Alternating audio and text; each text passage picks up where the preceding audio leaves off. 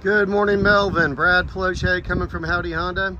Got your email looking for a 2024 CRV Sport all-wheel drive.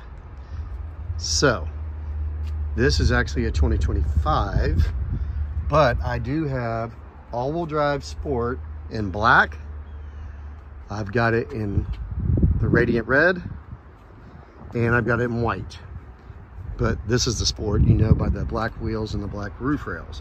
Now if you went 2025 i've also got meteorite gray and a canyon river blue as well as a silver. So let me know if you're open on color.